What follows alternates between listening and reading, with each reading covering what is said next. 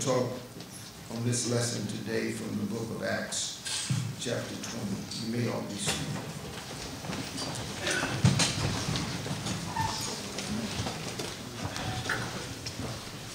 So the word says in 20th chapter Acts, in verse 17, it says, From Miletus he sent to Ephesus and called the elders of the church. This is Paul. And when they had come to him, he said to them, You know, from the first day that I came to Asia, what manner I always lived among you. Your reputation speaks loudly. It speaks after you've gone. It speaks before you get to where you're. So make certain that your reputation is something that you can be proud of and not ashamed of. 19 says, serving the Lord with all humility, with many tears and trials, which happened to me by the plotting of the Jews. How I kept back nothing that was helpful, but proclaimed it to you and taught you publicly and from house to house, testifying to Jews and also to Greeks, repentance toward God, faith toward our Lord Jesus Christ. Lord, I repent. Lord, I trust you and see how I go bound in the spirit to Jerusalem, Jerusalem, not knowing the things that will happen to me except that the Holy Spirit testifies in every city, saying that chains and tribulations await me. Get this, mark this in your book. But none of these things move me, nor do I count my life dear to myself, so that I may finish, so that I may finish, so that I may do what? Finish. So that I may finish my race with joy. And the ministry which I received from the Lord Jesus, to testify to the gospel of the grace of God.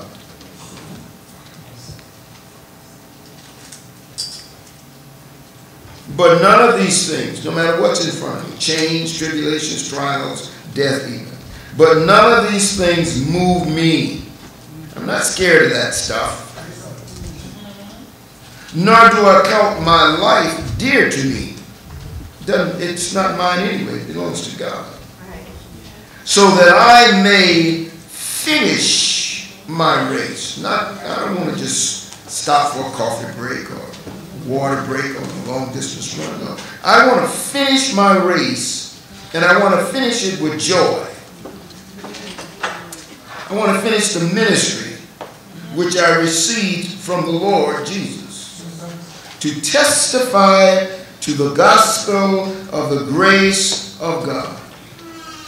And indeed, now I know that you all, among whom I have gone preaching the kingdom of God, will see my face no more.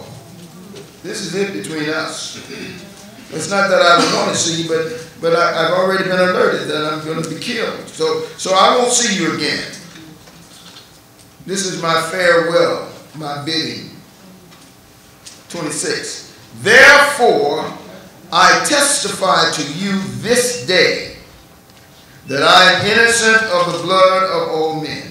In other words, I've, I've never done anything that would cause a person to suffer, knowingly or unknowingly. Therefore, I testify to you this day that I am innocent of the blood of all men. That includes fleecing you out of your money. Mm. Not, I don't run a scam. Therefore, I testify to you this day that I am innocent of the blood of all men, for I have not shunned to declare to you the whole counsel of God. I preach to you exactly what the Bible says. Amen. Amen.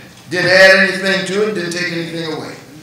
I, I've just not, I've not, I've not done anything that would be opposed to Scripture. I have not shunned to declare to you the whole counsel of God. It wasn't always appreciated, it wasn't always accepted. People would get angry with you, but I still preach it because that's what God assigned me to do.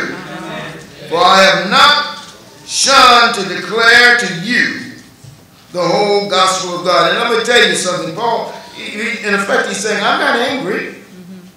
I just want you to be clear of what my assignment is and what it was. And this is the report I will give when I get glory.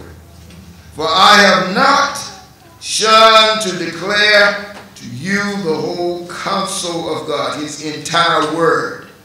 Yes, we talked about joy. And yes, we talked about being delivered. And yes, we talked about being filled with the Spirit. But I also told you that let every man have his own wife. I told you that. I told you don't go sleeping and slipping around my back door. Don't, don't do those things. I told you that too. I told you that lying was, was a sin. Yeah, yeah, yeah, yeah. I know you like the joy part. I know you like the shouting part. And all that's good, and I like it too. But I also think you should know that the Bible says, Thou shalt not lie, thou shalt not murder, thou shalt not covet. The whole counsel, not part of the counsel. Therefore, Verse 28 Therefore take heed to yourselves and to all the flock among which the Holy Ghost has made you overseers. He's talking now specifically to the pastors. Has made you overseers to shepherd the church of God, which he purchased with his own blood. Think about that. No preacher is going to get from underneath this. You can be mega or you can be many. Doesn't matter. If you, if you say God called you and you stood up behind the pulpit, whether you are fake or not, you're going to have to pay. One way or the other. It's going to come and you're going to have to face the consequences of whatever it was that you chose to do. I, you know, this is a scary job. Because you got to answer God for every person that was under your care. This is a scary job. And I tell you something, the world is getting too dangerous to live in. Not, not, not because of bad people, but because good people sit back and let bad people do bad things. Yes, yes, yes. Just comfortable with it, you know. Mm-hmm. they don't get any on me. It's coming to you. Yeah, it is. Your star today might be an orange star, but and they're getting the yellow stars. But when they run out the yellow stars, what do you think they're going to do? Uh-huh. We got to develop our own agenda as a people. I said, well, that, that sounds very racist. Well, I don't know how it sounds to you. If you say it sounds racist, that's your business. If you understood the history of racism, you know that I, there's no way for any of us in this room to be a racist. That's right. That's right. But we need to develop our own agenda. What's, what do you mean by that? It means that we should develop families that are tight enough that they don't have to run somewhere else to get soulless. Yeah, yeah. Your sons and daughters, grandsons, granddaughters, great grandsons, great granddaughters, they ought to know that they're part of something bigger than just themselves. Yes, yes. They don't have to run out and get some other group in order to find significance. They don't have to run out and get some other group in order to find security. They don't yes. they shouldn't have to run out and find some group in order to feel accepted. Yes, yes. Amen. I hear people crying about taxes.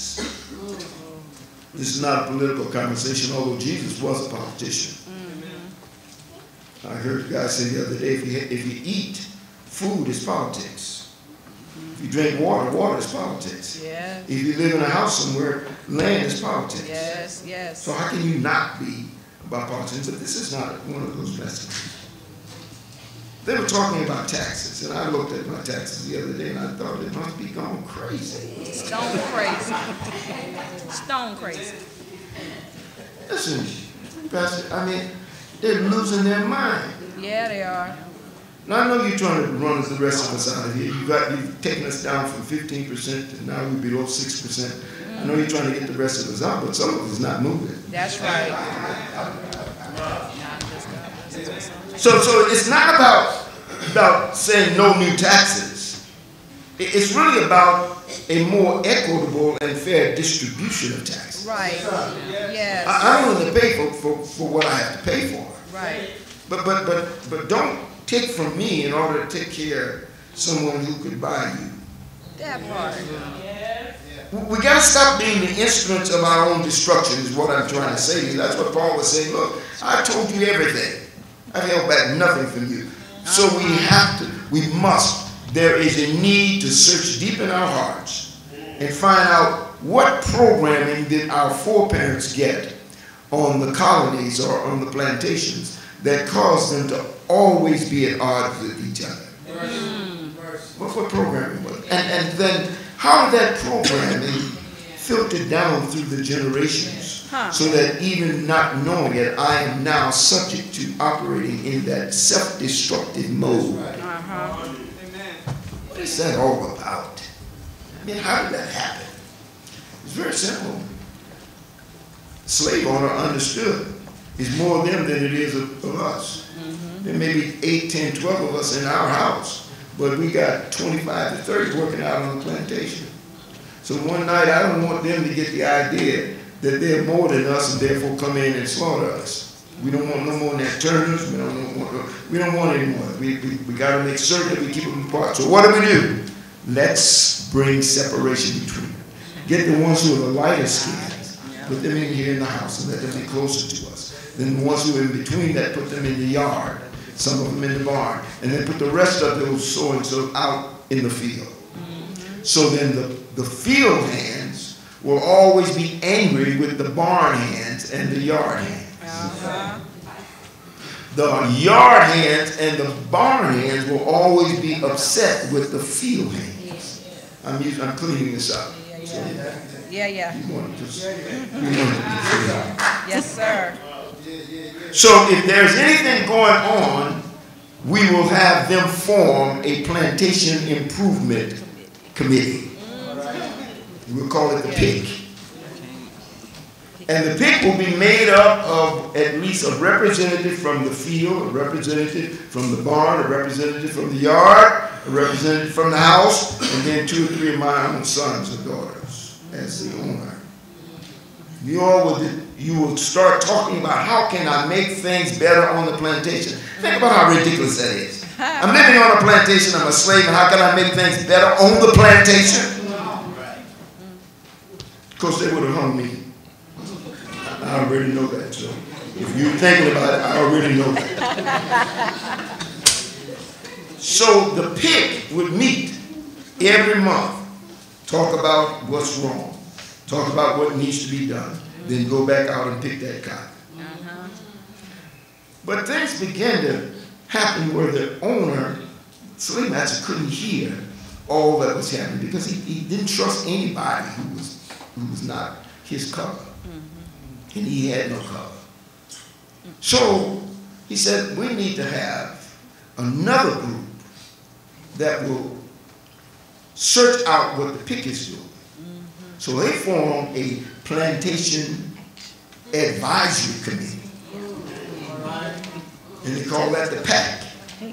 So now you have the pick uh-huh. and the pack. We still have picks and packs. Yes, we do. Right now, that's what's in our that's what's in our system. And unless we intentionally decide not to operate in the scenarios that have been placed before us, we will continue the same self-destructive behavior down through the generations, including your great grandchildren. So what I'm sharing with you, I'm done with that. I'm not going to go any further because I get upset with that part. What I want you to understand is that we we must stop being the instrument of our own destruction. And when I read what Paul says here, Paul is saying, look, I, I didn't hold back anything. I knew that it would be unpopular. I knew I would not become the man of the year. I knew I wouldn't make it on the front of, of, of Fortune magazine. I knew that. But what I want you to know is that that wasn't my objective. My objective was to make certain that you knew exactly what God said and what He required. So once I've done my job, I want you to know they can kill me, but so what? When I wake up in the morning, I'm going to be with the Lord. So why in the world do you think you're going to scare me with that, that death threat? Look, it's not safe for communities. No, no. No, no. Not safe for community conversation. We need a how and what are we doing in our houses. We, we have to get to the point where we're no longer afraid of sitting on the back of the bus. Oh, we don't even ride the bus anymore. You're sitting on the back of the bus. No, I'm not, Pastor. Well, how much are you paying monthly for your automobile? That you probably should have bought uh, one that was half as much, but how much are you paying monthly? Well, I'm not about this. Then you're on the back of the bus. You're always on the back of the bus anytime you're operating at the mode where you can you can barely breathe. You got so much debt, it's just squeezing the breath out of you. You're in the back of the bus. Why would you say that? Because it was on the back of the bus where the fumes were. The back of the bus. You notice you don't ever hear people saying, well, we protest being on the back of the train. You know why? Because we sat on the front of the train. Because in the front of the train is where the fumes were. Anywhere we can be choked out, that's where we find ourselves. I just want you to think about what I'm saying here so that you can see that Paul's statement to the church was real. Uh, a lot of our people are not bad parents. They're not bad parents. They're not parents at all. You're not a parent if you're competing with your daughter. I'm sorry. You- You're trying to you're trying to be as hot as she is. Come on, give me a break. God made them hot for a reason. Y'all don't hear me now, and you don't want to hear this. I know it, but I'm gonna tell you. Let me tell you something. In that age, in that when that at a particular age, that young girl is beginning to understand womanhood, and uh, not fully, but understanding that there's certain things happening in her that is kind of interesting, and she starts to dress a certain way and and look a certain way, and is very particular about her hair and particular about her makeup. Well, that's natural. There's nothing wrong with that because she's being prepared for the guy who's looking for her to marry her. That's what it is dating and mating. So she's being prepared. She doesn't understand the dynamics because she didn't have anybody to teach her the dynamics often. But she does, she does know that there's something about her new self that she likes. Mm-hmm. And she expects someone else to like it who is not female. Now, there's some females who, who like it too. We can talk about that in another setting. We don't have time for that here today. But just know that when we do talk about it, you're going to be highly upset. So, so here, here, here's the deal. So she's looking like a fresh flower. That's because she is a fresh flower. amen. And there's someone who is now reaching a certain age, probably a couple of years older, not a lot, but a couple of years older, a few, who is at that maturity level because girls mature at a faster rate than guys. So you can't be this guy her age. It's probably going to be about here. Sometimes, depending upon what the settings might be, it may be equal, but normally that is not the case. And Mama and them used to say you fast. Ah. Just a fast-headed little so-and-so. That's what they used to say, but they don't say that anymore. Because mama ain't paying no attention. Mama too busy trying to look hotter than she is. what you trying to catch? I don't understand that. I'm, I'm serious about it. I don't understand. Well, the problem is, is that you were not functionally taught how to be a parent. Mm. Why not, Pastor? Why would you say that? My mom and my dad did a good job of raising us. Yes, they did. But how many times did they take you to the book of life? The book that God says you should read and show you what God expected of you. Well, how many times did that happen? Well, we didn't. We were really involved in other things. I rest my case. We need to get back to the point where we're teaching this little girl. Don't be ashamed of that. Amen. It's okay. Don't feel like you you suddenly been pushed away. It's okay. You you yes, be beautiful. Uh, it's all right to be beautiful. Beauty was three B's. You know what they are. You need beauty, booty, and brains. Yep. You heard it here. It. That's right. But look, if you got the beauty and booty and no brains, more than likely you won't get anything else that's worthwhile. So teach them how to develop their brains above the beauty and the, and the butt. Don't have the butt thing being a big deal. I know it's a big deal today, but big butt things is no big deal. Sometimes you talk about how big the butt is, that's a fat person. So don't, don't get caught up in that. That, that don't mean it's fine just because you got a big butt. You hear what I'm saying? What you need is a big brain. Big brain. Hello? A big what? Big brain. So if she has a big brain, then she meets a guy who wants to play the game, and she listens for a minute or two, and she does this. Talk to the hand, I'm gone. But the guy who's looking for her, because God says a man finds a wife. Yes. We got to teach our girls stop running after guys. Don't do that. Don't do that. I got my call to the ministry with some girls one time We were coming out on Taylor and Homewood Street, Washington. Taylor and Washington. You know what happened on Taylor and Washington. And uh, they were working girls, and they, they, yeah, they were. They were pretty too. Yeah. And uh, yeah, they did. I'm just gonna tell you. I'm sorry. I, just, I think you ought to tell the truth and shame the devil. So, so they, they, they, looked the part and break, and they knocked on the door. And I was just coming from church, all tied down, and you know, going home to my wife. Knocked on the window, stopped at the stop sign, I knocking. Hey, you look like you need a date. No, I don't. no, I don't look like I need a date.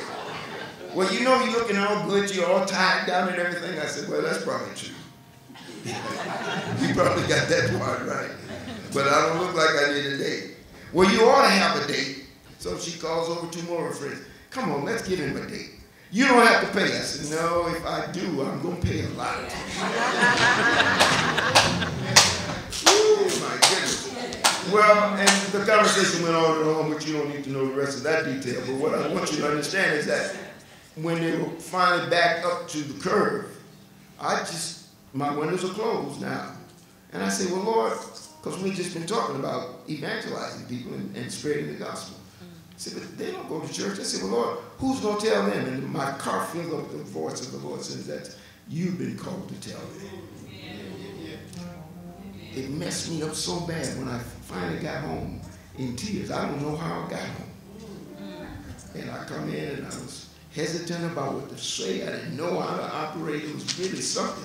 What I want you to understand, though, is that God chooses who He uses. Yes. So in that case, they had all the beauty, they had the butt, but they didn't have the brains enough to know that you should not be out on this corner hustling, trying to make your living this way. I don't care what they say about shake your money maker. That thing don't make no money for you. It makes money for your parents. That's right.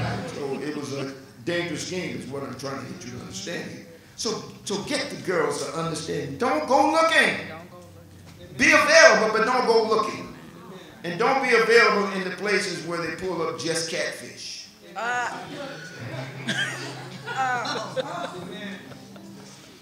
What does that mean, Pastor? You got to ask the question you want to understand the answer.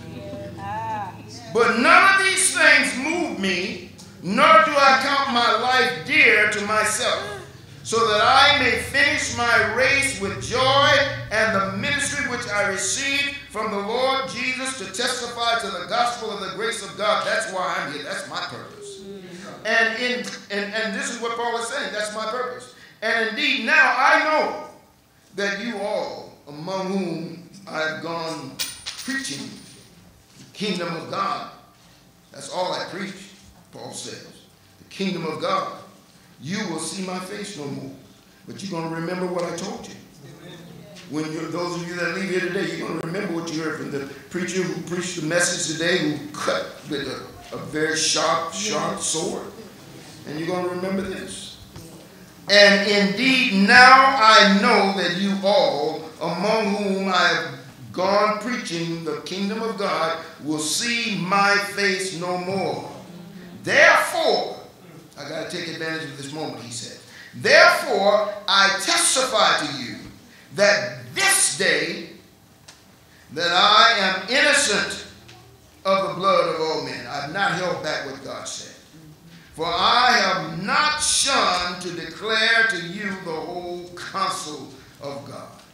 And then you preachers, you pastors, you shepherds, therefore take heed to yourselves, to all the flock among which the Holy Spirit has made you overseers, to shepherd the church of God, which he purchased with his own blood.